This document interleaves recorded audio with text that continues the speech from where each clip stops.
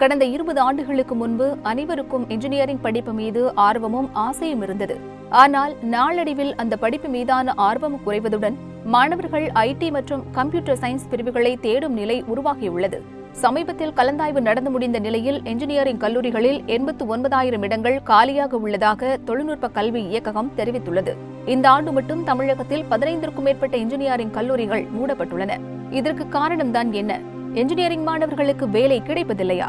சரியான தொழில் நிறுவனங்கள் இல்லாததா? கல்லூரிகள் வந்துட்டு கொஞ்சம் குறைவாகவே இருந்தது. இப்போ ரொம்ப அதிகமான கல்லூரிகள் இருக்குங்கிறது ஏற்றுக்கொள்ள வேண்டிய ஒரு விதமான மோசமான நிலை தான் நான் சொல்லணும். அவ்வளோ கல்லூரிகள் வந்துட்டு தேவையில்லை. இருக்கக்கூடிய அரசாங்கங்களும் வேலை வாய்ப்புகள் வந்துட்டு குறைஞ்சிக்கிட்டே போயிடுச்சு. அதனால் மாணவர்கள் வந்து விரும்பி படிக்கணும். இன்ஜினியர் கல்லூரிகளும் வந்துட்டு சேர்க்கை விகிதம் குறைவாக இருக்கக்கூடிய கல்லூரிகள் தன்னைத்தானே வேறு எதுக்கு மாற்றிக்கிறணும் அவங்க ஸ்கூலாகவோ இதாகவோ மாற்றிக்கிறணும் இன்ஜினியரிங் மாணவர்களுக்கு புதிய படிப்புகளை அறிமுகப்படுத்த வேண்டும். அவர்களுக்கு செயல்முறை கல்வி அவசியம் என்கின்றனர் கல்வியாளர்கள். பழசெல்லாம் கற்றுக்கிட்டதெல்லாம் இப்போ அது உபயோகப்படாத ஒரு சூ- சூழ்நிலையில வந்து போச்சு. பேசிக் ஃபண்டமெண்டல்ஸ் இருந்தால் கூட அதனுடைய அப்ளிகேஷனுடைய மாற்றங்கள் நிறைய ஏற்பட்டு போகுது. அதுக்கு தகுந்தாற் போல பாடத்திட்டங்கள் மாறணும்.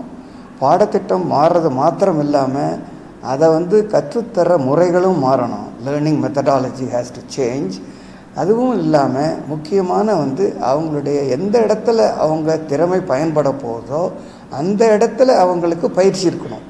அது ஒரு இண்டஸ்ட்ரியாக இருக்கலாம் அல்லது வேறு ஏதாவது ஒரு ஃபேக்ட்ரியாக இருக்கலாம். எந்த துறைங்கிறத பொறுத்தது அது வேறுபடும். அப்படி இருக்கிற ஒரு காலகட்டத்தில் தான் நம்ம இருக்கிறோம். அதாவது எஜுகேஷன் ஃபோர் ஜீரோவும் இண்டஸ்ட்ரி ஃபோர் ஜீரோவும் ஒரே நிலைக்கு வரணும்.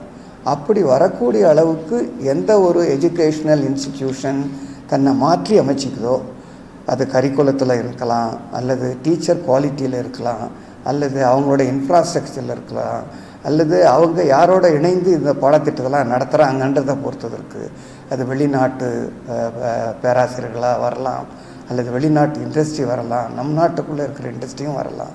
அப்படி இருக்கிற ஒரு சூழலை நம்ம உருவாக்கணும். ரொம்ப வருஷமாகவே இந்த மாதிரி ஒரு engineering காலேஜ்னால் run of the mill engineering காலேஜில் இன்ட்ரெஸ்ட் இல்லை. ஒரு engineering college which can be helpful to health care இப்போ நிறையா விஷயம் இன்ஜினியரிங்கில் கம்ப்யூட்டர் சயின்ஸில் பண்ண முடியும் ஹெல்த் கேருக்கோசரம் இந்த மாதிரி ப்ரோக்ராம் ஸ்டார்ட் பண்ணால் ரொம்ப ஃபியூ இன்ஜினியரிங் காலேஜஸ் தான் இதை ரொம்ப மும்முரமாக நடத்துகிறாங்க ரெண்டு மூணு விஷயம் இருக்குங்க. ஒன்று வந்து என்ன ப்ராக்டிக்கல் ட்ரைனிங் கொடுக்குறோம் அந்த ஸ்டூடெண்ட்ஸ்க்கு அவனுக்கு அதை வச்சு ஜாப் ஆப்பர்ச்சுனிட்டி எப்படி இருக்குது அதுக்கு தகுந்தமான ஃபேக்கல்ட்டி அது இன்டர்நேஷ்னலாக இருந்தாலும் சரி நேஷ்னலாக இருந்தாலும் சரி அது மாதிரி எடுத்து அந்த ஸ்டூடெண்ட்ஸ்க்கு இது கிடைக்கும். இது போல மேலும் பல செய்திகளோட அப்டேட்ஸுக்கு தினமலர் யூடியூப் சேனலை சப்ஸ்கிரைப் பண்ணுங்க. பக்கத்துல ஒரு பெல் பட்டன் இருக்கும். அதையும் கிளிங் அப்படின்னு ப்ரெஸ் பண்ணிட்டு ஃபேஸ்புக் ட்விட்டர் இன்ஸ்டாகிராம் போன்ற சமூக வலைதளங்களையும் எங்களை ஃபாலோ பண்ணுங்க.